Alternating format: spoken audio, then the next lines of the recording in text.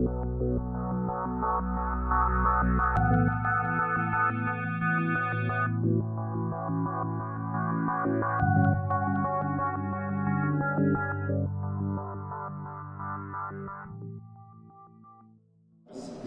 bu o'ziga xos faxr va xursandchilikdan tashqari juda katta mas'uliyat deydi yana ustozlarni oldida gapirish so'zlash oson emas men uchun ham hammamiz uchun ham va sizlar faqatgina fikrlab qo'ya qolmaysizlar hatto o'zlaringizni fikrlaringizni biz bilan o'rtoqlashasizlar degan niyatdamiz. Shuning uchun ham biz kutmanni o'tkazyapmizki bu bayramni xalqimizni ona tilining barcha boyliklari mana shu joyda yetti million e, zaxiramizda jamlangan va undan xalqimiz har kuni ming kishi kirib chiqib ming kishi kirib ming kishi chiqib bahramand bo'lyapti. Va hamma hammasi biz uchun o'ziga xos. Alohida bir zavq shavq bag'ishlaydi. Va davlat maqomiga mm, xalqimizga tilimizga davlat maqomini berishdan oldingi holatimizni o'ylaydigan bo'lsak ancha muncha qiyinchiliklar boshdan kechirganligimizni va hayajonlanganimizni yashirib bir mm, she'r bilan shu holatni yuzaga chiqarishga harakat qilaman. Bu hozirgi o'zbek adabiy tili degan darsligida chop etilgan kitob she'r seni xudo bergan menga mening xalqimga bandalari yo'qotolmas tortib ololmas seni xato baholagan kulgi har kimga senga ola qarab kim ko'r bo'lmay qolmas senga davlat maqomi ne? Yaralganing on xalq maqomin olgansang bu. Qutlug' poydor shuhratparast zotmidingki har turfa nishon ko'kragingga ilib olsang qator va qator. Balli hanuz xiyonatning yuzlari qora. Balli hanuz sadoqatdan gul qo'yildi qalb. Ohanglaring dunyodagi eng kuchli yaroq. Shu yarog'i ahad asrab avaylanar xalq. Chegaralar yo'qdir senga sarhadlar osha sen tufayli aynimadi qancha bag'ridosh o'zbekligim ay ona til dilingda yashar til ostiga joylangandek qimmatbaho tosh. Nitom asos mohiyatni belgilar azal. Nitom eski yozuv o'xshar ko'hna ildizga navdalari yuraklarda ruhda mukammal shoh barglari g'unchalari yetgan yulduzga. Senga faqat hasadgo'ylar qilar yo'qqarash seni manfur bosqinchilar yoqtirmas faqat ay ona til o'zing uchun o'zing ham kulash ay ona til g'animlarga aylama shafqat nun ko'zlaring kattaroq och dollaring yoy qil aliflaring ko'p qilib ot ular ko'ksiga ma'nolaring namoyon et yovlarni loy qil yetmish olam mo'jizasin ko'rsat yuzimga shuning uchun o'qidimki biz hozir mustaqillikka erishganimizdan keyin qanchadan qancha ona tilimizga davlat maqomi berilgandan keyin qanchadan qancha muvaffaqiyatlarni ko'rdik. Qur'oni karimni necha xil necha turdagi nashrlarni hadis shariflarni qanchadan qancha nashrlarni ko'rdik qadriyatlarimizni va o'zimiz bilgan bilmagan hatto bir e, gap borki agar mabodo yuz yil davomida bir xalqda imlo to'rt marta ayat o'zgarsa u xalq yo'qolib ketadi degan gapni eshitib biz yo'qolmagan xalq bo'lganligimiz uchun xursand bo'lamizda mana bitta kitobda g'alati bir kitobni chiqarib o'sha imlo tarixini yozuvimiz tarixini to'rt xil besh xil joyda e, e, imlolarda yozilgani va u holatga kimlar bosh qo'shgani va qanchalik qarshiliklarga uchraganligimizni va ona tilimiz parvardigor xuddi bir maydonda harbga urushga shay qilib yaratgandek emasmikan deb o'ylaymiz. Chunki navoiy davridan boshlab turib yetim uchun kurashlari. Hozir ham qanchadan qancha farzandlarimizni bilim yaxshi bilim olar ekan deb turib maktabda boshqa tillardagi maktablarga berib yotibmiz. Va ular duduqlanganga o'xshab menga ham o'n uchta nevaram bor kunlari o'qib qoladi o'rischani ey bolakay o'zbekchaga kirganingda ota onamni mana shu ahvoli bilan ezilib ketaman. Boqqa kirsang olmalar til qizarib pishibdi silkitibdi shamollar. Yerga to'p to'p tushibdi mazza qilib yodlab yurarding bolakay peshanang bo'lsin deyishimizga to'g'ri kelyapti qayerdagi odamlarni lekin hozir biz har holda bitta holatni bilaylik yetmish to'qqizinchi yilda o'risha sulaymon degan qozoq shoiri kelib men shuning uchun yig'laymanki butun boshli olmaotada shunday katta shaharimizda birorta qozoq maktabi yo'q deb yig'lagan esimda bor. Shunday o'zbekiston konstitutsiyasi mehmonxonasidagida yozishlardan o'tirganda biz hozir xohlaymizmi yo'qmi? Qishloqlarimizga boradigan bo'lsak davlat maqomi berilganini ham hatto bilmaydi ba'zilari. O'zbek tilini bolalar qanchasi? Xuddi qadimdan qanday bo'lsa shundoqcha yurak yurakdan qabul qilib parvasiga keltirmaydi biz bu yerda o'g'ilgotimiz mana omon akani hmm, madey ustozimizni yaqinda e, beshinchi oktyabr kuni xalq o'zbekiston ovozi gazetasida chiqqan maqolasini o'qigan do'stlar qanaqangi achchiq gaplarni gapirdilar umuman orada o'qituvchilarni oldida bitta gapni aytmasam bo'lmaydi. Boqijon to'qliyev degan juda katta professorimiz ustoz aytganlarki o'qituvchilar shunaqangi ulug' xalq islomiy hikmat bor. Payg'ambarimiz muhammad sallallohu alayhi vasallam bu dunyoda ummatlarni aybi gunohlarini so'rab oladigan bo'lsa o'qituvchilarga ham shunday huquqi bor ekan ular o'z o'quvchilarini gunohlarini bu dunyoda so'rab olish haqqiga huquqiga ega ekan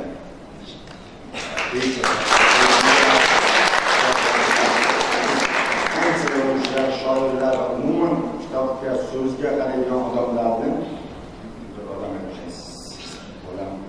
tilingiz bilan topolgansiz tili bilan topgan odamlar halol nasibagina bo'ladi deyishdi sizlarni hammalaringiz tillaringiz bilan topadigan ustozlar bo'lganingiz uchun halol nasiba bilan yashayotganingiz uchun biz xuddi sizlarni oldilaringizga nimadek muqaddas bir inson o'sha tabarruk insonlarni ko'rib turgandek xursand bo'lamiz va bugungi aytadigan gaplarimiz ham omon akani nechta joyda xaridorlar bo'lganidan bo'lsa ham julvor bo'lib ketdi bu yoqqa majbur qilgan bo'ldi bo'lmasa adibaga beramiz adiba umiyni endi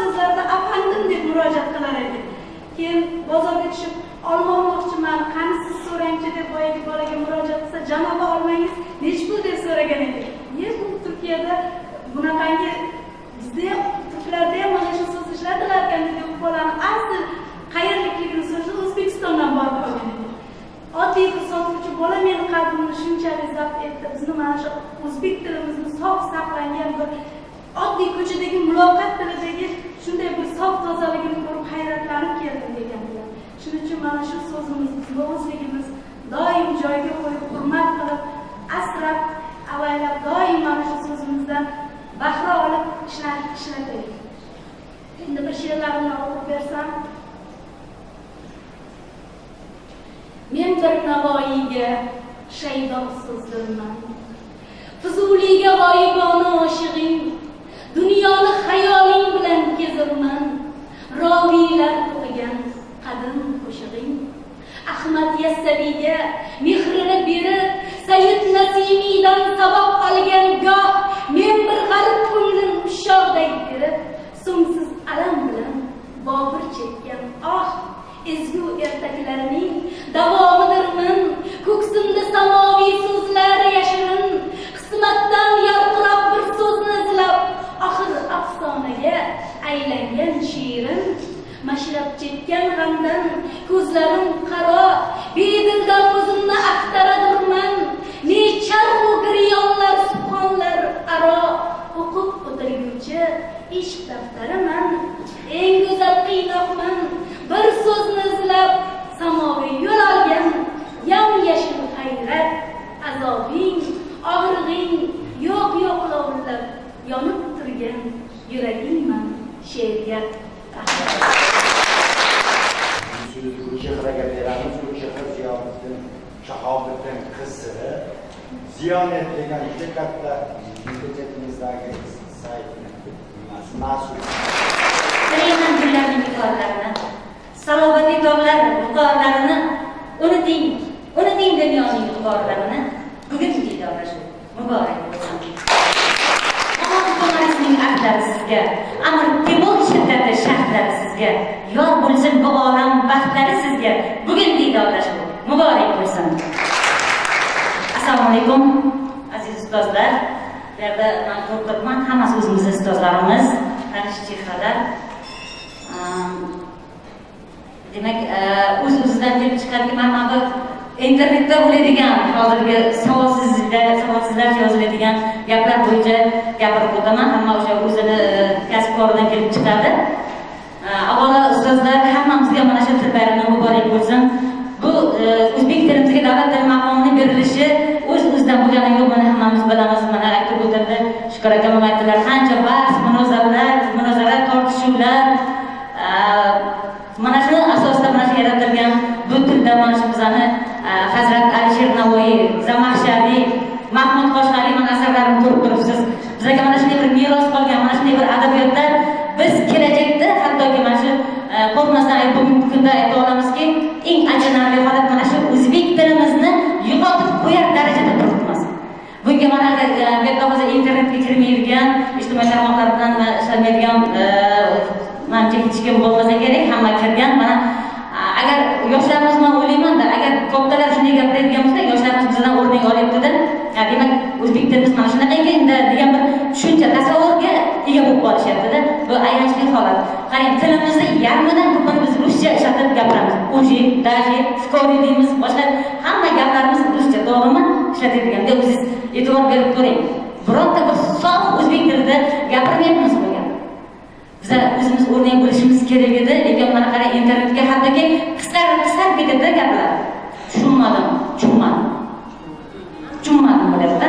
Yoki yana raqamlar bilan oldini o'rni o'rnida oldini qo'yishyapti. Shini o'rnida hattoki boshqa grafikada yo'q e, ingliz tilida vov qo'yib ishlatishyapti. E, judayam buzib xatolarni aytmaysizmi internetda bo'laveradi deb o'ylasa kerak lekin internetda e, ustozlarimiz bilishadi bexato yozaylik degan bir katta bir do'kon ochilgan. Endi juda katta katta tilshunos olimlarimiz adabiyotchilarimiz shoirlar yozuvchilar kirib mana shu o'z fikrlarini bildirishadi. Bu til faqat olim yoki tilshunoslarniki emas bu tilimizni asrab qolish to'g'rimi? Mana qizil kitobga nechta yo'qolib ketayotgan narsalar kiryapti bu ketishda ketsa agar mana o'rik tili deymizda o'shagacha borish ahvolida turibmizda endi qarang sof millat oldingi yozuvchiki sof namusni qarasangiz yo'q yo'qolib ketyapti. Bu juda yam achinarli holat. Bu e, o'sha erkin mohidda so'zlari bor edi. Bu e, bir tilshunosning tomorqasi emasku bu hammamizga kerakli bo'lgan narsa hammamiz kurashishimiz kerak birdek e, mana masalan bannerlarni olamiz ko'cha bo'yida katta katta bir tashkilot korxonalarni nomi hattoki judayam qo'pol tuzilib noto'g'ri yozilgan. To'g'rimi o'zimiz guvoh bo'lamiz ayniqsa aytsa tilchilarimiz o'tiribdi manimcha adabiyotchilarimiz bundan tashqari mana bu reklamalarni qarang biza shunchalik bir anaqa bir nima haqimizki siz kichkina bir go'dagini siz reytgan haqlardanmizda lekin chanqog'imga ishon qorning ochdimi deb reklamalarda shunaqa bir qo'pol ispubizam deb turib reklama qilinglar bu yog'ini aytishga ham yo'laman mana shunaqa bir qo'pol reklamalarni ham kerakmiz birinchi o'rinda buni shu ommaviy axborot vositasi jurnalistlarimizni o'zi birinchi o'zlari tilga e'tibor berishlari kerak o'zlarini mana shu tillariga e'tibor berib xatolarni tuzatib olishlari kerak ko'proq o'qish kerak bo'ladi mana bu turgan adabiyotlarni mana bunaqa e, mana tabarruk ko'proq murojaat qilish kerak bo'ladi o'rganish kerak bo'ladi. Sms yozadigan smslarimizni qarang qanchalarimiz savodsizlash smslar olamiz hammamiz bolalarimizda bor. Demak nazoratni oiladan o'zimizdan boshlashimiz kerak bo'ladi.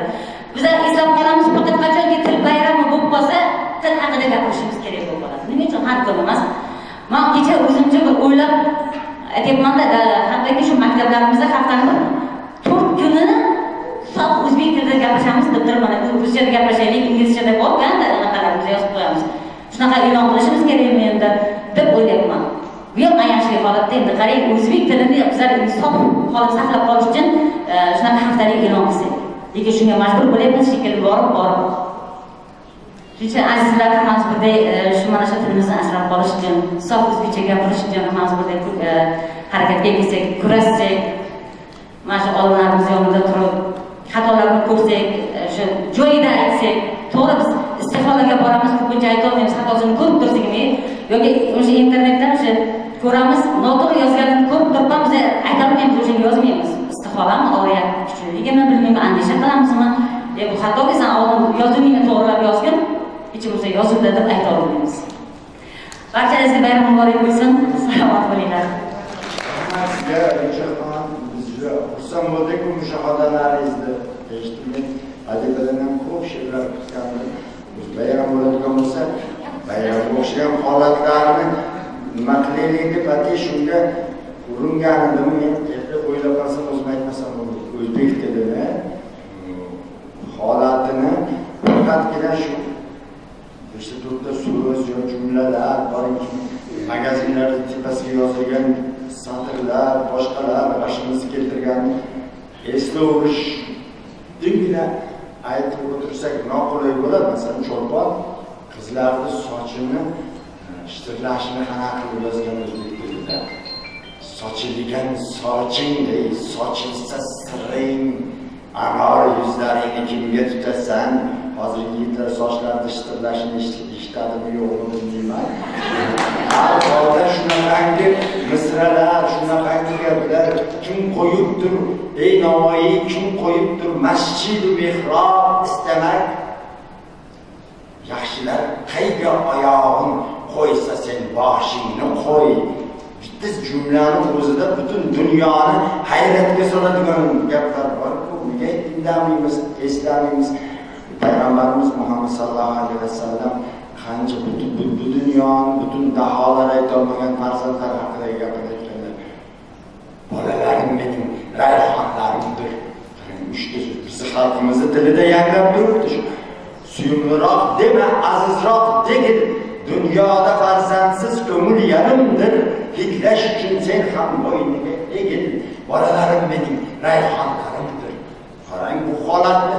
Shoirlar agar hozirgi holatimiz jahlimiz bilan agar mabodo tilimizga qarab bosadigan bo'lsak shoirlar hech narsa yozmay qo'yadi ona yurting on bo'lsa rangi ro'ying somon bo'lmas. Jaranglashni qarang men shoir odam chidaman oxiri uch qatorini qo'shib bermaysizmi deb ustozdan maktabda o'qiganmizmi so'ragan.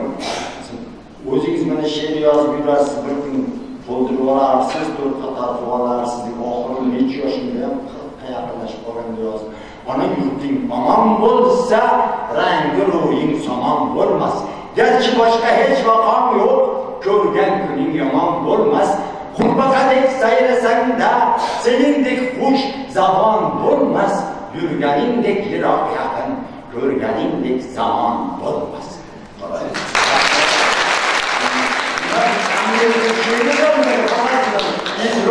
qiynalaversak tilimiz ondan bundan qiynalaversak men atayin imlolarimizni to'rtta xil imloni tarixini yozish uchun bizga olib kelib berishuvdi nashriyotdagi ba'zi bir xodimlarimiz qiynalib arabcha ekan lotincha ekan eski ekan ko'pin ekan cho'zib o'rgandan keyin oxiri qancha nima kerak boshqa kerak deb turib rahbarlarni zug'umlari bilan oxiri chiqarib men bayram qildim.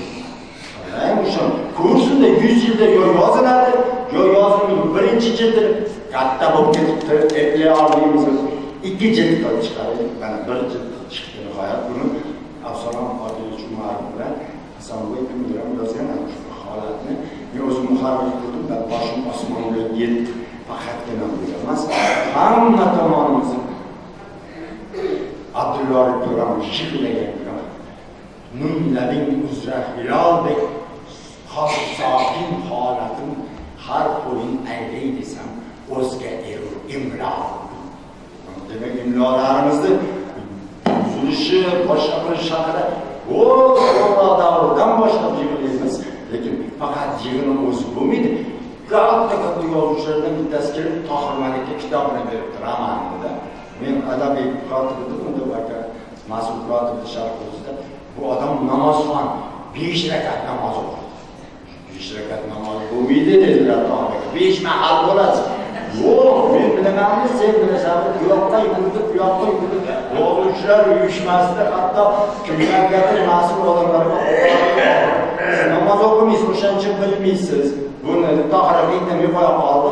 Oxiri keyin baribir besh rakat bo'lib chiqdi dedilar.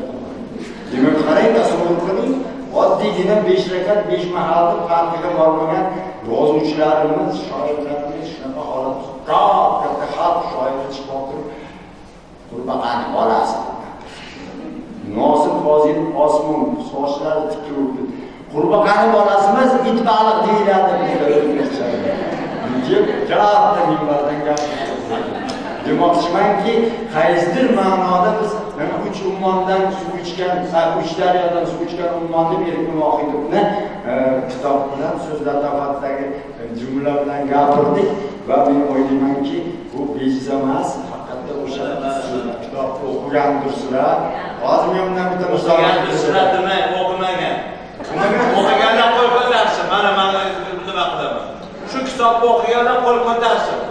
Saodatman turing o'rningizdan hozir o'lib saodatman turing o'rningizdan turmay qo'yavering uyalmaysiz mana kim o'qigan? Qo'l ko'tarsin. Ichida shuning ichida bitta misol siz keltiraman o'qigan bo'lgandirsizlar deyapsizlar mana ahvol ko'ryapsizmi yana bayram qilaman deysiz Erkin Vohidni bitta misoli bor shu yerda. Ishq muhabbat bu dunyosida har nima kelsa ishq muhabbatdan kelur, har balo kelsa degan so'zni Erkin Vohid aytadilar. Har keluvchi boshqacha qilib yozib qo'yibdi. Mushk ambardan kelur to'niga, mushk ombordan kelur. Voy bu mushuk emas, mushuk omborda mushk ambar degan narsa bor. Bu bu desa shoirlarni tushunarli qilib yozinglarda mushuk bo'lgandan keyin ombordan keladi qaydan keladi xalqimizni o'zimizni merosimizga munosabati shu darajadaki endi bu holatni endi faqatgina yig'i bilan gapirish lekin baribir bayram qilishimiz kerak? Chunki biz biz e, o'zbekcha gapira olmasdik yig'ilishlarda axir e, o'rischa gapirishga to'g'ri kelardi o'rischa arizalar yozishga to'g'ri kelardi. Kitoblarimizni chiqarolmay qancha qiynalardik? Bitta kichkina o'ttiz ikki betlik kitobimiz chiqarish uchun moskvaga borib masalan ruxsatnoma olib kelardi ular tushunsa tushunmasa o'shaning uchun alamimiz ichimizda bor. Edi hozir endi o'sha o'sha tahdiddan yo'qligi uchun hatto hatto hatto madhiyamiz ham assalomu rus xalqi ulug' og'amiz deb boshlangan. O'zbek tilida shunaqa deb ular bizga hech qachon assalom o'zbek xalqi ulug' katta akamiz demaydiku hozir endi sen quyosh bo'lgani uch yashar nevaram ham aytadi qo'shiq qilib bir kuni avtobusda aytib qolibdi. Bir menga o'xshagan chol chiqibdida hammang qo'lingni ko'ksiga qo'y dedi aytdi to'g'ri bilasizmi? Hatto bilet yirtuvchi chipta sotuvchi ham kelsa sen ham qo'lingni ko'ksimga qo'y chunki kelajak avlod o'zi mustaqillikni madhiyasini aytyapti. Xursand bo'lib ketib u yoq qo'lini ko'ksiga qo'ygan ikkinchi astrofida ham boshlagan ekan qizim. Hay hay tushunib yuboradi sen bilan biz bo'ldi bas demak qaysidir ma'noda o'sha madhiyani o'zi ham o'zbek tilimizni bir o'ziga xos nimasi bayrami? Namunasi albatta hamma ham o'sha o'sha paytda bo'lmagan-ku bizni hozir endi o'zimizni xalqimiz juda bir boshqacha qilib bu so'zini bu so'zini qiynab bo'lsa ham aytib yuribdi qayerlarda va va omonlar ham gulchehron gapi ham.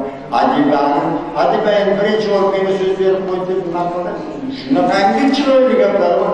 Bitta gapni men buzibroq aytaman men seni qoshingga uchib borardim. Turmush o'rtog'imga rahmim keladi buni holatni ikkita uchta so'z bilan qancha ma'no berilayotganini ko'rsangiz men o'zim yigirma ikki yil davomida hadisi shariflarni to'rtliklarga tushiraman deb qancha xotin chiqomirmadan yaratilgan degan hadis bor. Uni to'g'rilayman deman to'g'rilayman sindirib qo'yasan ani sindirmoqni ma'nosi shuniki taloqini berursiz men buni to'rtlikka qanday tushunishim o'zbek tilida dedim. Boshqalarni bilasizlar turmush o'rtog'ingni qo'lidan mehr bilan ushlasang barmoqlaring orasidan to'kilar gunohlaring deganga o'xshagan lekin bunichi buni qanday ko'rdik? Ko'rdik kabidir xotin degani qaysarligi hamda kajligi shundan to'g'rilayman demas sindirma uni qiyshiq holatida foydalan undan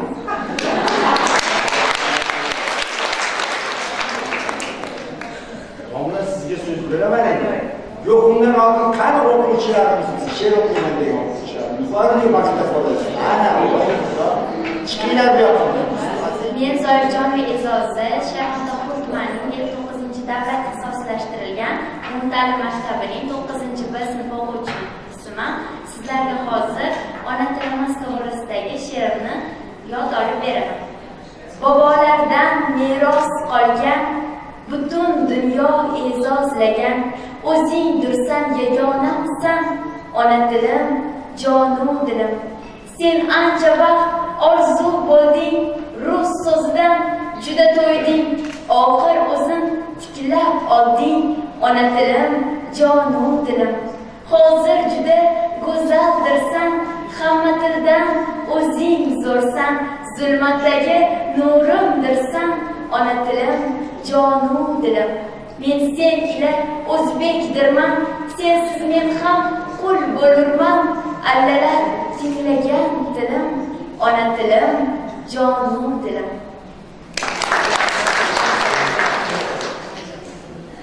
Avvalambor assalomu alaykum. Ustozlar men bobojonova barno toshkent shahar shayxontohur tumani 59 sonli davlat ixtisoslashtirilgan umumta'lim maktabining 9 sinf o'quvchisiman biznikidan go'zal oqqan soy bormi? Oy bitta bundan ham go'zal oy bormi? Vatanini sevgan har o'zbek uchun o'zbekistondan ham yaxshi joy bormi? Tushingda ko'rganing unga so'zlama. Begona yurtlardan manzil ko'zlama. Tuprog'ingdan aziz makon izlama. O'zbekistondan ham yaxshi joy bormi? Qara rivojlanish o'zgarishlarga dunyo havas qilgan bunday ishlarga qancha imkon berdi? Bizdek yoshlarga. O'zbekistondan ham yaxshi joy borma baxtga to'lib yasha omading yonma. Asragin g'ururing nomusu orni ko'zlarimga qarab aytgin ey yurtdosh o'zbekistondan ham yaxshi joy bormi? Bizning tuproqdan ham aziz bo'lganda ketgan bo'lar edi amir timurlar. Bizning tuproqdan ham aziz bo'lganda yig'lab sog'inmasdi mirzo boburlar. Ajdodlar qabrini ziyorat qiling ko'ngilda ilmdan imorat qiling. Shunday sajdagohga sadoqat qiling.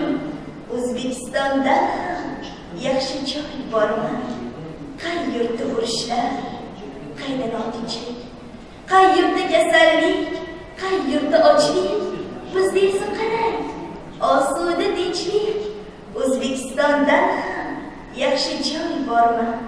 Bir viloyat nomi shoir nomida hazrati navoiy qalb ardog'ida. Buyuk karvonimning sarvoni bordir. Aziz qoraqalpoq bir tomonimda. Baxtobi vodiyni sayohat qiling. Samarqand sayqalim mo'jiza biling. Buxoroyu xiva haybatin ko'ring. O'zbekistonda ham yaxshi joy bormi? Boring surxondaryo tomonlarga siz. Qashqadaryo jizzax sirdaryo tengsiz bugungi toshkentni kelib ko'ring siz. O'zbekistonda ham yaxshi joy bormi? Biznikidan go'zal oqqan soy bormi oy bitta bundan ham go'zal oy bormi vatanini sevgan har o'zbek uchun o'zbekistondan ham yaxshi joy bormi?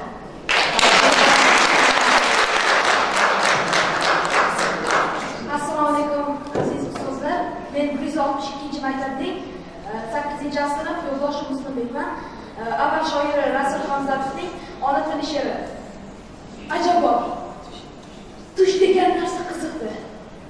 O'lib qolganmishman tushdi nogahon ko'ksimda qo'rqoshim tog'lar o'ynida quyosh tig'di.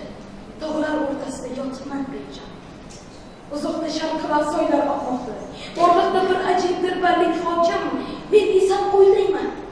Yotib tuproqda mana shu tuproqqa qo'shiladi hokim men o'lib yotibman kimsasiz umr hech kimsa qayg'urmas va chekmas yohu faqat cho'qqilardi qo'rqirar burgut faqat vodiylarda ingraydi ohu navqiron yoshimda bo'ldim ku ado otash yuragimni o'yda axir oh na onam na yorim bermaydi sado do'st tugul hattoki yig'i chiqqan fug'on otiladi jonsiz bag'rimdan go'yo go'yo fug'on bordek urdi shu payt ikki kishi o'pdi yo'lidan quvnoq suhbat qilib avval qildi.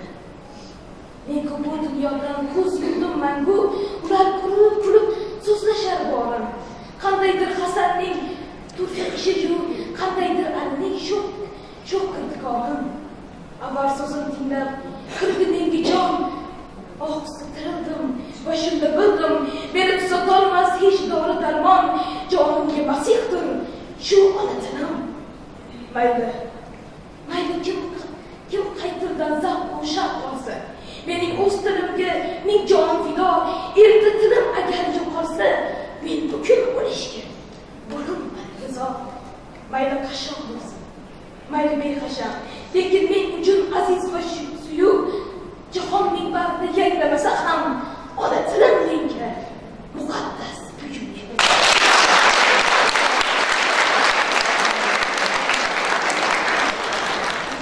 sakson to'qqizinchi yilgacha ayniqsa yetmishinchi yillardan keyin saksoninchi yillarda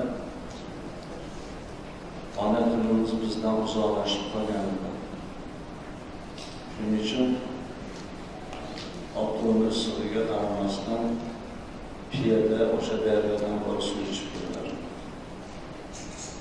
bir ming to'qqiz yuz sakson to'qqizinchi yilda o'zbek tiliga davlat maqomi berilganidan keyin o'zbek tilimizni o'sha uzoqdagi joyni yaqinlashtirib oldimizdan o'tkazadigan ariqqa aylantirishdi shundan beri nima uchundir oldindan oqqan suvni qadri yo'qqa chiqib qoldi afsus endi shukur manga bugun bayram bayramona kayfiyat bilan gapiring deyatgandi buni gapini qilmasa ma'qul kecha e, madaniyat va ma'rifat kanalida to'qqizta odamni chaqirib to'qqizta odam to'qqizta odamni chaqirib ko'rsatuv qilishdi.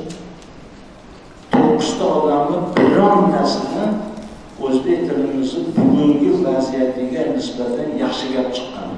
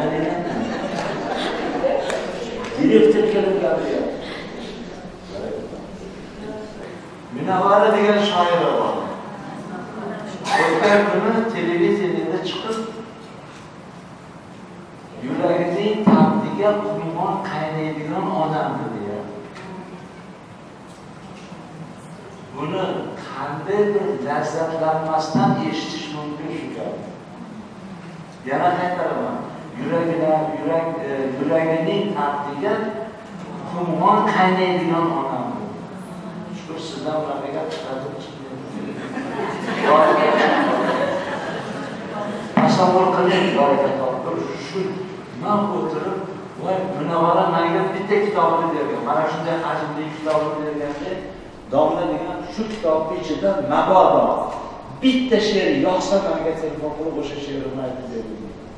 Bitta she'r yozsa ertasiga telefon qilib yoqqan she'rini aytib berdi. Munavvara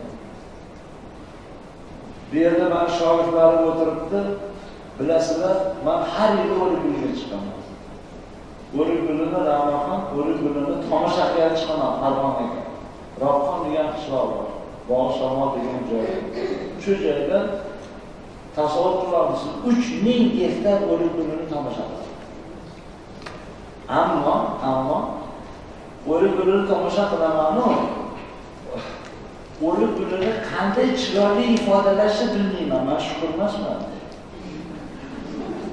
qanday qilib ifodalash mumkin? O'lik-o'limni, shoirona qanday ifodalash? Bir kuni erkin akani o'qib o'tirsam e'tibor berdi quyosh oq bulutdan etak bog'lab o'rik shoxlarida qovurdi bodroq.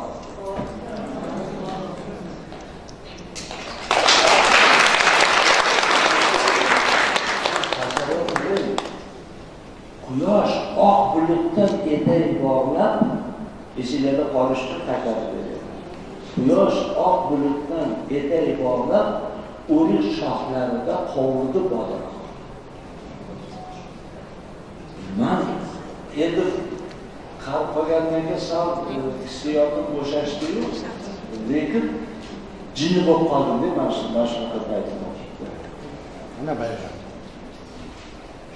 erkin aka aytadiki bulbul bulbul saylayapti gulzor uni she'riyat rahbari tasavvur qiling so'zlar orqali bunaqa so'zni bunaqa so'zlarni faqat qayerdadir bormadi mana metroga tushasizlar. Metroga tushganinglarda man qarang man tayyorlab qo'ygan joyim bor edi. Metro metro borku o'zinglar. Har kuni chiqadigan metro. O'sha joyda o'zbekcha yozib qo'ygan joyi bor. O'zbekcha e, topdim iltimos suyanmangiz degan joy bor iltimos suyanmangiz degan shuni ruschasi nima deb qo'ygan bilasizlarmi? Прислоняться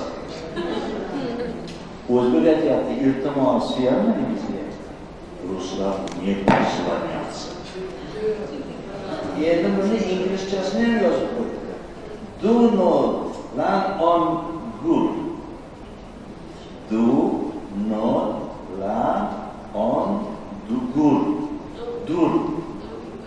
beshta so'z buni tushuntirib bergan desam buni orasida qilmagin degan so'z bor ekan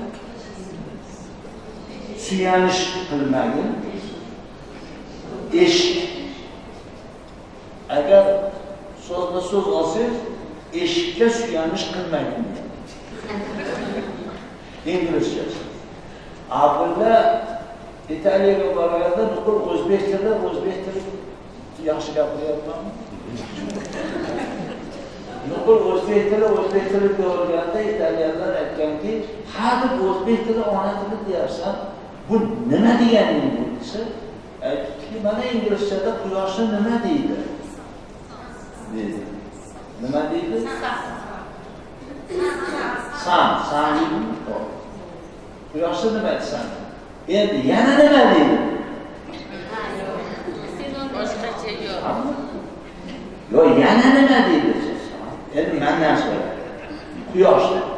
yana nima deydi desa oftob yana nima deyilsa shams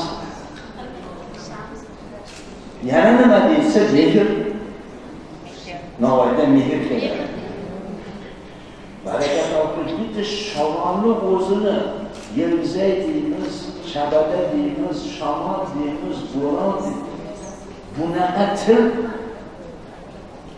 o'quvchilaringizga aytayotganimizda gapirayotganimizda tushuntiring. Dunyoda olti mingga yaqin til bor.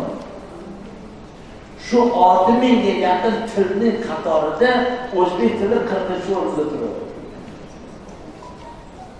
Mana sizda tilimizning qimmati bo'ldimi? Bu yoqni endi o'zim gapirib endi qarang endi qarang.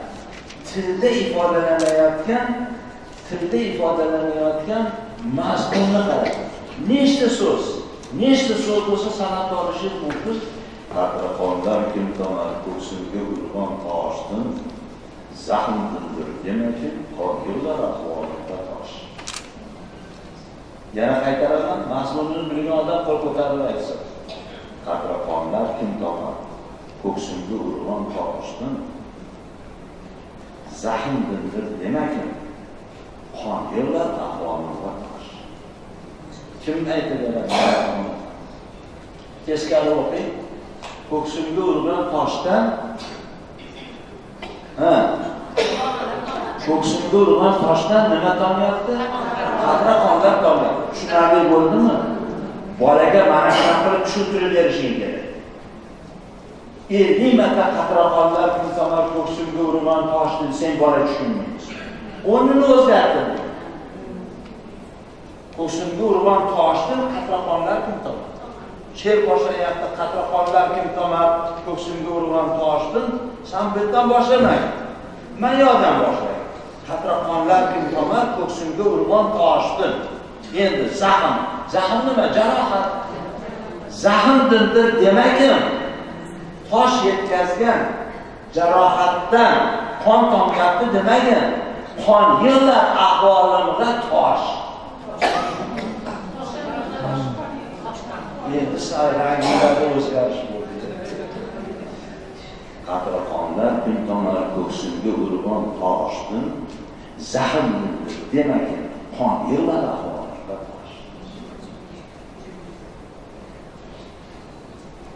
o'xshadi. Odamiy ersang demagin odamiy oniki yo'q xalqi g'amidin man aytdim. Hurmatli akam buka o'zi shunda katta rolni o'ynaysiz dedim o'zi she'r o'qishingiz nechun dedilar man aytdimki qatroq orazim yog'och ko'zimizdan sochilib lahzasi yosh domini o'qing dedi oniki yo'q orazim emas. Odamiy ersang demagin odamiy. Oniki odamiy ersang demagin odamiy deb domini o'qing oniki yo'q xato o'qidingiz. Kim biladi nimaga xato o'qidi ne yo'q? Oniki. Qanday xato o'qidim kim biladi? Qani oliy baraka topgil baraka topgil o dami odami o cho'zimi qisqami cho'zim da da ni da odami er cho'zib qisqa qisqa cho'zib shunaqami shunaqa bo'lsa nimaga oniki deganda oni qisqa o'qish kerak oniki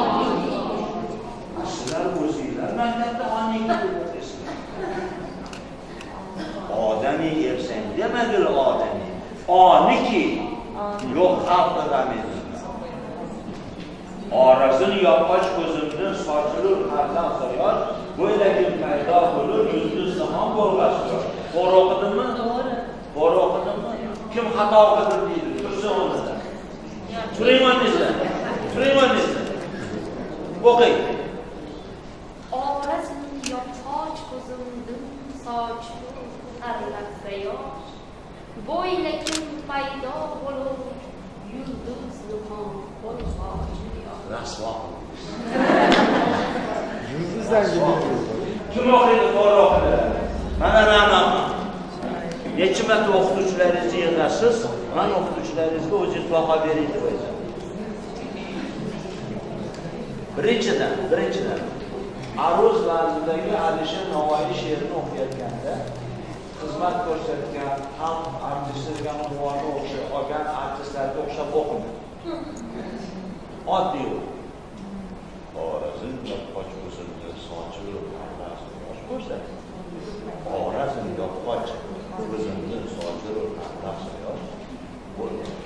Bo'ylagim paydo bo'lib yulduzimon bo'lmasdi. To'g'ri o'qidimmi? Men xato o'qidim. Endi ma'nosiga qarang. Bo'ylagim paydo bo'lur yulduz nihon dedim. Yulduz nihon dedim. Yulduz nihon degani yulduz yashirinni degani bo'lg'och quyosh bo'lg'och quyosh nima ma'no beradi? Hech qanaqa ma'no bermaydi. Ma'nosi yo'q. Bo'lg'och quyosh tamom. Bu hech cho'ng'iga hech narsa yo'q. Endi e'tibor bering endi e'tibor bering orazim yopqoch ko'zimdan sochilur arlasa yosh bo'ylagim paydo bo'lur yulduz nihon bo'lg'och.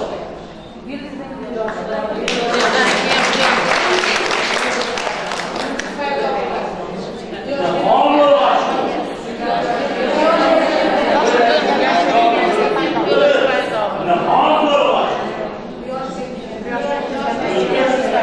yosh botganidan keyin osmonda yulduzlar joni qabul bo'lmagan sal yoshi katta bo'lgandan keyin shunaqa sal bemazoroq chog'lanib qoldi yoshligida sal boshqacharoq ko'rganingizlar orazin yopqoch ko'zimda sochilur. U yorim yuzini yopgani zahoti mening ko'zimdan yosh sochiladi. Go'yo ora yuzini bekitganida quyosh botdi. Quyosh botgani zahoti osmonda nimalar paydo bo'ldi? Mana baraka topqinlar o'zbek tilimizning go'zalligi nima? O'zbek tilimizning shavqi zavqi nimada? Kecha man haligi o'g'itni olib degan gaplarni bo'linib ketib shukurga ko'rsam oyog'im titray boshladi o'qituvchi aytyapti. Ustoz otangdek bo'lur deganlar mana shu yerda o'tirgan odamlar mana shu yerda o'tirgan odamlar ustoz otangdan ulug' ustoz otangdek ulug' ikkita yo'nalish. Mana ustoz otangdan ulug' mana ustoz otangdek ulug' ustoz otangdan ulug' deganlar qo'l ko'tarsin. Tushuning ustoz otangdek ulug' deganlar qo'l ko'tarsin. Ko'rdingizmi? Besh minutdan keyin gaplashamiz.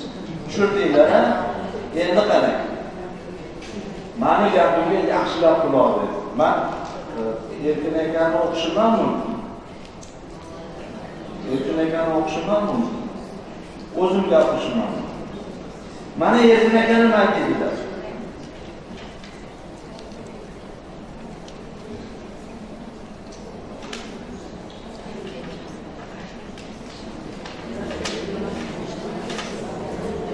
eshiting mani gapimni yaxshilab eshitib oling. Bundan keyin mani gapimni eshitasanmi eshitmaysanmi xudo biladi gapimni yaxshilab eshitib ol. Xalqda mehmon otangdan aziz ustoz otangdan ulug' degan hikmat bor. Biror aqlli zot otadan ulug' otadan aziz inson bo'lmaydi deb aytgan chog'i keyingi vaqtda mehmon otangdek aziz ustoz otangdek ulug' deyish urf bo'ldi. Otadan ulug' va aziz kishining yo'qligi haqiqat. Aynan shuning uchun ham bu tasbih ishlatiladi. Maqol xalq ijodi e'tibor bering. Maqol xalq ijodi ijod badiiyatsiz. Badiiyat mubolag'asiz bo'lmaydi. Inson boshi toshdan qattiq deymiz. Toshdan qattiq narsa yo'qligi uchun shunday deymiz. Tog'ni ursa talqon qiladigan yigit degan gap bor. Tog'ni maydalab bo'lmasligi uchun bu maqol qudratli va boqiy. Dunyoni suv bossa to'pig'iga chiqmaydigan odamdek bo'lmaydi. Soch bilan ko'cha supurilmaydi ko'z yoshi bilan suv sepilmaydi. Lekin yor yurgan ko'chalarni supuray sochim bilan changi chiqsa suv sepay ko'zlardagi yoshim bilan deb kuylanadi buni lutf deydi. Zavqi yo'q odam lutfni anglamaydi. Bir do'stimiz bo'lardi. Latifa aytsalar kulmas yo'q e bunaqa bo'lishi mumkin emas deb turardi.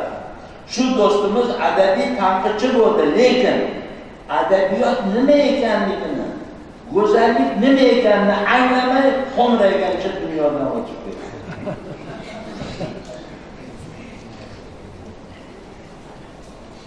Mehmon otangdan ulug' deganda biz avvalo otani ulug'laymiz otadan aziz otadan ulug' zotning yo'qligini mubolag'a vositasida tasdiqlaymiz. Nega men bu arzimas xatoga yopishib oldim? Gap shundaki odamlarda mana shu yerga e'tibor bering bu dahshatli gap. Iloji bo'lsa yozib oling. Gap shundaki odamlarda tafakkur kuchi ortgani sari tasavvur kuchi kamayib bormoqda. Mana gap qayerda? Yana qaytaraman odamlarda tafakkur kuchi ortgani sari tasavvur kuchi kamayib bormoqda. Rahbariyatdan hujjatlashtirish masalalari kuchaygan sari darsi sifati pasayib bormoqda.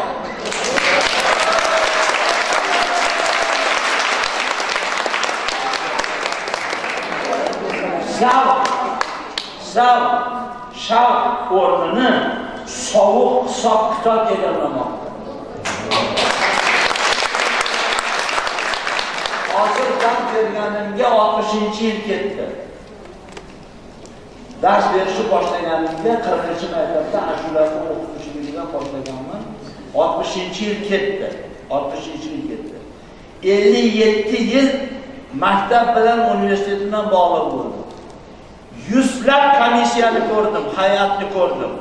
Biron marotaba shu hay'at a'zolari mani darsimga kirib kirgan emas. Nuqul tekshiradigani joriy nazoratni olib kel orolni nazoratni olib kel kundalik rejangni olib kel baloni olib kel battarni olib kel.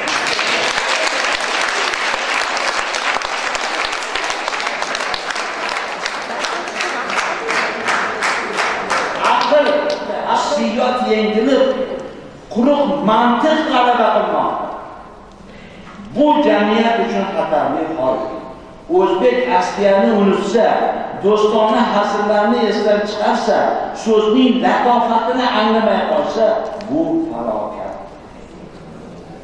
Ana endi ayting ustoz otangdan ulug' deganlar qo'l ko'tarsin ustoz otangdek ulug' deganlar qo'l ko'tarsin qirq yil bo'ldi qirq yil bo'ldi rahmatli alibek ustamov ayrim odamlar taniydi debdi hisomiddin imomov samarqandlik til madaniyat ko'zgusi degan ko'rsatuvnoma yuboryapmiz shunda arizaga aytdilarki hozir sizlar bir yomon odat chiqdi to'yga taklifnomalar bo'layotganda lutfan taklif etamiz degan gapni aytishyapti shundan qirq yil oldin qirq yil mobaynida qachon televideniyaga til bilan chiqsam lutfan taklif etamiz deb gapirdi. Erkin aka mana bu kitobda ming afsus sizlarni minusinglar bor bu kitob alisher navoiy kutubxonasida bor. Kutubxonaga kelinglar. Buning uchun faqat hafsala kerak. Ey o'qituvchisan san ziyoliysan bu kitobni chiqqaniga uch yil bo'ldi haligacha qo'lingga olgan bo'lmasang lutfan taklif etamiz bu yerda bor. Bu yerda maosh bor osh bor. Bu yerda badrovli yetti bor bu yerda uzum bor bu yerda dasturxon bor bu yerda chaqchaq. chaqchaq bor. Agar vaqting bo'lsa chaqqa o'qib berardim. Uyiga qanaqa yetib olganingni bilmasdik. Endi qarang qirq yildan beri gapiramiz ra'noxon sizga ishonishadi bular. Nechinchi yil? Hozir qaysi oy? Ha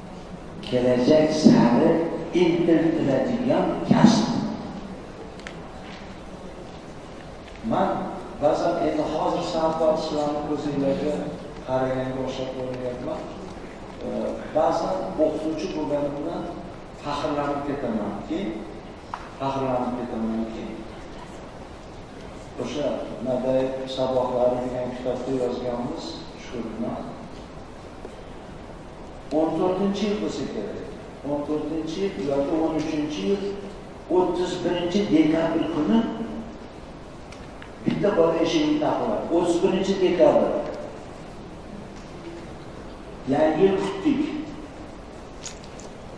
uxlashga endi yotadigan paytda eshik qo'ng'iroq chalindi chiqsam deb yigit turibdi assalomu alaykum nima bolam mani tanimadingiz tanimadim man temurxonman rahmat yaxshi yaxshi rahmat kirib ketsa to'g'ri kirib ketdi olib kiradigan joyim yo'q hammadan apelsin ko'chaman kutubxonaga olib kirdim kirgansan kutubxonaga olib kirdim baribir mani tanimadingizda man temirxonman man hozir amerikada dedi amerikada ofis boshlig'iman dedi bugun hozir dedi dedi uch to'rt soatdan keyin dedi man dedi nyu yorkka uchishim kerak chunki sizni oldingizga kirmasdan ketsam sizni oldingizga kirmasdan ketsam o'zimni o'zim kechirolmayman xo'sh nima demoqchiman desa amerikaga bordim amerikaga borganimdan keyin mandan so'rashdi kimsan deyishdi man aytdim o'zbekman nimang bor deyishdi man aytdim alpomishim bor o'tgan kunlarim bor gapir deyishdi boshladim gapirdim akademik litseyda dars bergan umuman mani qo'limda o'qigan bolalar alpomishni o'qimasdan chiqmaydi. Maktabda o'qigan bo'lsa o'tgan kunlarni o'qimasdan chiqmaydi. O'tgan kunlar bilan alpomishni hozir mana olti bo'ldi amerikadaligimda deydi. Ofisni rahbari darajasiga ko'tarildim deydi. O'sha yerda boshqa o'zbeklar ham bor deydi. Boshqa millatlar ham bor deydi. Ularga tegishmadi deydi.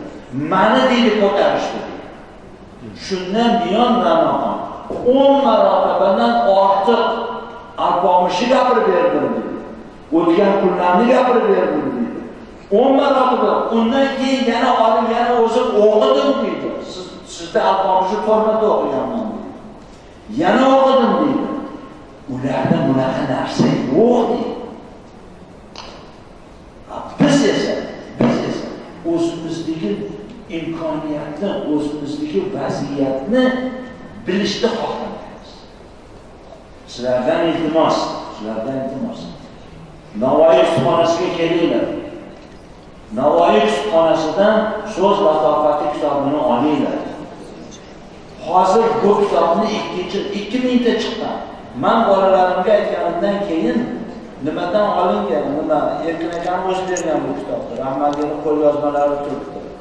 Э, bolalarga aytib borish shu kitobni to'qqiz ming so'm chiqqan to'rt yil oldin to'qqiz ming so'm katta pul edi undan keyin man uni gapirib borib so'rasam kitob yo'q dedim bir qancha kitob bor edi. Nimadir beruniyni yonida o'sha studentlarni kitob oladigan joy hisoblanadi o'sha. Bironta kitobxona sizlardan iltimos bunaqa nima uchun? Biz bilamiz. O'zbek tili turk tili tarixida eng birinchi tilshunoslik asari qaysi? Aynan bor ekansizlar devoni lug'ati ikkinchisi alisher navoiyni endi turkiyada demirbek degan bir professor nima dedi? deydi bundan bundan ming yil oldin mahmud qoshlari turkiy tilga shabada bergan edi shabada bergan o'shanda mahmud qoshlari yozadilar turk tili bilan arab tili yugurib ketayotgan otga o'xshaydi va turk tili oldinroq chopyapti degan gapi bor. Alisher demirbek aytyaptiki besh yildan keyin alisher navoiy muhokamati bir ming to'rt yuz to'qson to'qqizinchi yilda yozgan. Shu o'limidan oldin yozgan. Yo to'qson sakkiz yo to'qson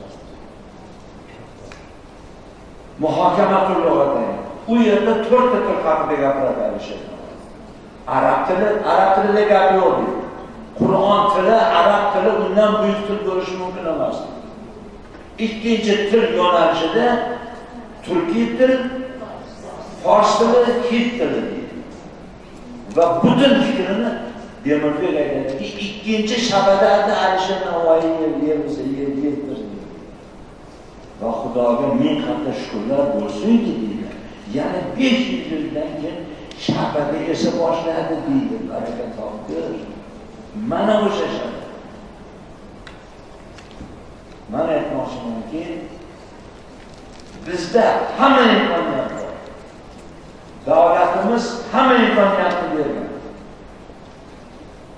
Zahiriddin muhammad bobur humoyunga yozgan xatida iltifot so'zini itqi bilan yozibsan deb humoyuniga tanbeh beradi. San yozganingda sodda yoz ravon yoz shunda san ham qiynalmaysan o'quvchi ham qiynalmaydi degan gaplar aytadi hazrat umar roziyallohu anhu xizmatkorlari o'q yoy otayotganda arab alifbosida uchta s bor. Sen bor sot bor se bor. Shu uchta seni bir biriga aralashtirgan xizmatkorlarga tanbeh beradi va aytadiki so'zni noto'g'ri talaffuz qilish o'q otishdagi xatolikdan ko'ra og'irroqdir. Ya'ni man aytmoqchimanki bizga berilgan imkoniyatdan foydalanishimiz kerak. Aziz bolalarim aziz shogirdlarim aziz o'qituvchilar o'zbekistonning kelajagi bizning juda katta vazifalarimiz bor o'zbekiston xalq artisti sahnaga chiqib lahza lahza chekdimu chiqdim yo'lingda intizor deb tursa nima deysan? Buni san nima deyapsan degan muharrir bormi yo'qmi bu o'zbekcha o'g'it emas o'git degan so'z bormi degan narsani aytadigan muharrir bormi yo'q?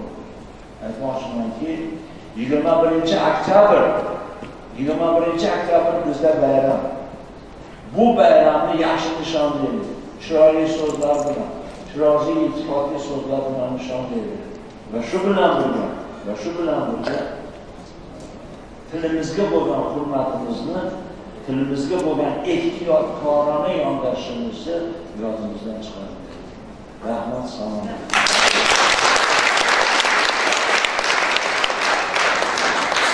savollar bo'lsa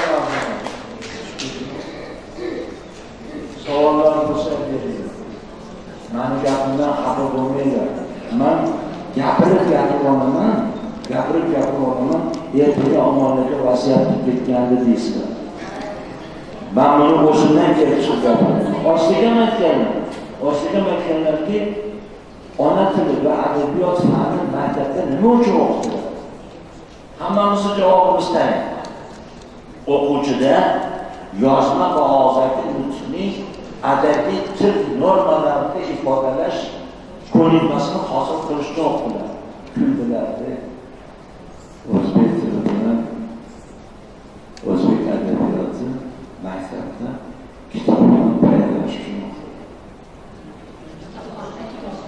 kitobxon tayyorlash uchun o'qitiladi bu o'tib ketdi keyin bilsam vasiyat. Keyin bilsam vasiyat. Man ham gapiryapman. Mani gaplarimni eshitaverasizlar. Lekin yana bir qancha vaqt o'tmasin omonlar domla shunaqa vasiyat qilgan deb gapirishinglar uchun qarang nadir ahvoliga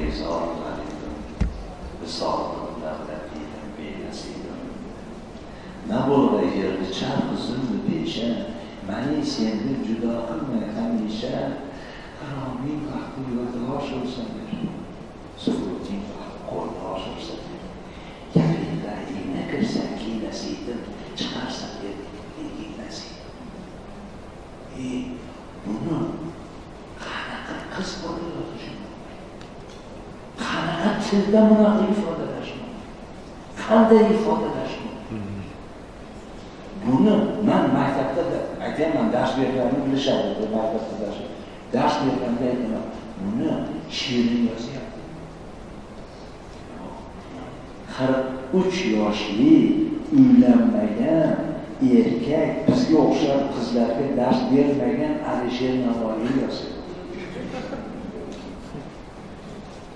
endi yaqinda e, nimada ma'ruf vazirligidan bitta odam chiqib bizaga deydi ayollar dars berdiyu erkaklar dars berdi darsdan qilishyapti. Ayol dars berdi nimayu erkak dars berdi nima deydi bekorlarni aytibsan. Mana o'tirgan odamlarga qarab uchta erkak o'tiribdi. Bir yuz qirq sakkizta odam o'tiribdi bir yuz qirqta odamdan uchta erkak o'tiribdi. Sani darsing bilan otabekni o'tishing bilan mani otabekni o'tishimni farqi bormi? Bo'ptida e, sen qanaqa qilib vazirlikda ishlab televideniye televideniyada ham vazirlikdan kelgan vazirlik ranoqan chidolmaysiz vazirlikdan kelgan odam nima deydi? Bitta o'qituvchi deydi bir oyda olti yuz soat dars beradi deydi. Nima?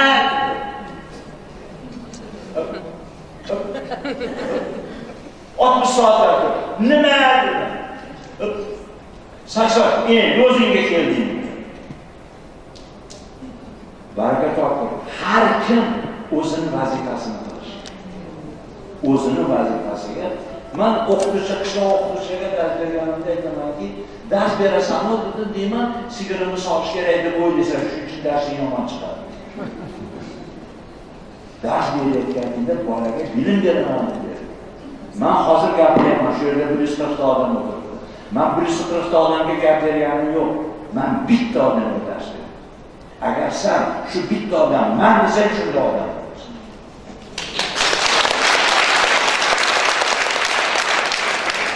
Muhammad biz onamla Nabiye'ni o'qishganimizdan beri bilamiz hatto havasini bir to'g'rida bir omonda madaniy saboqlari degan bir kitob ham yozib endi bilsam soyasini ham ko'rsatolmabman deb o'ylayman ba'zan.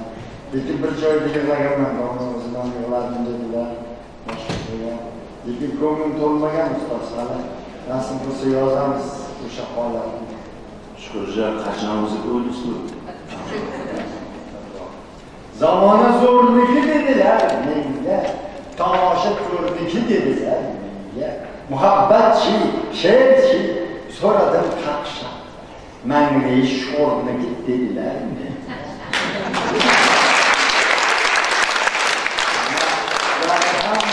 Yaxshi ko'ramiz. Ayniqsa mana shu kelib kamchiliklar meni ham ozmuncha kamchiliklarimni aytmaydilar domla har ko'rganlarida aytadi lekin har safar mazax qisqa odam shunaqa odamlar bor ekanki qo'rqaman agar mabodo sal bir yoqlarga ketib qolsa boshqa tadbirlarga ketib qolsa qanaqa qilib omonlakasiz o'tarkan meni tadbirim yo bizni tadbirimiz. Ayniqsa til haqidagi yo navoiy haqidagi deb qiynalamiz joningiz sog' bo'lsin domla hamisha omon bo'ling biz bu buyoq aytgan bayramlardan boshqa bayramlarni eslamay o'tdik biz. hozir yana oralaringizdan chiqadigan so'z aytadiganlar bor tog'ay murodni masalan prozasidagi tilni qarang qanaqangi so'zlarimiz yoki uni sizlar tushunasizlar qanchadan qancha xalqimizni qanchadan qancha qismi ro'pari o'zbekiston xalq shoiri shuni kitobini olinglar desa bir joyga borib taniysizlarmi desa hatto o'qituvchilarni ba'zilari undagi havoni undagi ruhni go'zallikni bilishing bahorim bormi bormisan sevikli yor? Dilga shuncha ozor. Ey bahor ey bahor quyosh kular kular hayot anvoyi gullar kular o'zini baxsh etmoqdan shod poyimizga yiqilar qaylardasan sen faqat jondin aziz ko'rganim hech yasholmas muhabbat ayroliqqa o'rganib bormi bahorim bormi bormisan sevikli yor dilga shuncha ozormi ey bahor ey bahor go'yo hech narsa aytilmadi bir falsafiy fikr yo'q qaranglar go'yo aytilmadi lekin shu darajada yurakni boyligini o'zbek tilini so'zlariga aytdi o'shaning uchun ham asqar ruhning suratlaridir endi hurmat ehtirom bilan so'zni toshkent shahar xalq ta'limi boshqarmasini xodimlari e, gulchehraxon mamanboyevaga o'zini bugun gapirgani kelmadi. Bugun chiroyli so'zlarni aqlli so'zlarni eshitgani keldim davlatni e, o'zbek tiliga davlat maqomiga kelgan yigirma sakkiz yillik munosabatlar aniqi kichkinagina tadbir o'tkazmoqchiman domlani chaqirsangiz dedim ranoqlar qaysi domlalar o'zimizning domlalar omon aka o'zimizning domlalar haqiqatdan ham bundan o'ttiz yil avval men yoshgina o'qituvchi edim lekin juda zo'r o'qituvchi sifatida viloyatda yagona chuqurlashtirilgan ona tili va adabiyot faniga chuqurlashtirilgan sinf ochilgan edi butun bir viloyatda bitta maktabda bitta sinf va shunga meni o'qituvchi qilib qo'yishdi va har bir viloyatdan bitta bir nafardan o'sha chuqurlashtirilgan sinf o'qituvchilarini avvalgi nomidagi markaziy malaka oshirish institutiga o'qishga yuborishdi o'ttiz yil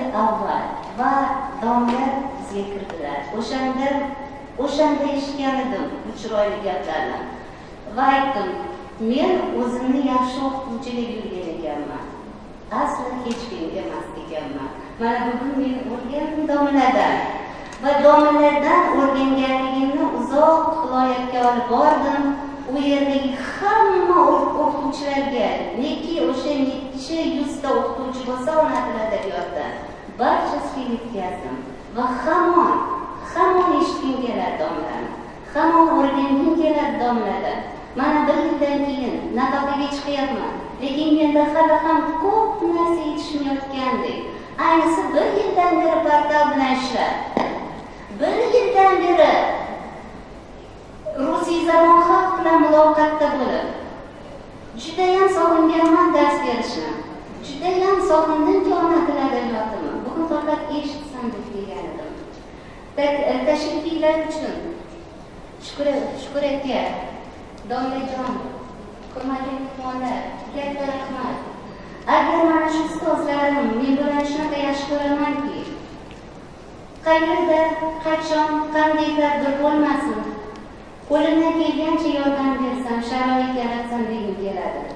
Agar xursand bo'lib chiqib ketsalar demak katta bir ishni amalga oshirgan bo'laman va men ham xursand bo'laman. Boringlarga shukur yana boshqa kun boshqa tadbirlarda uchrashishga nasib etsin hech qachon qaramang mana shu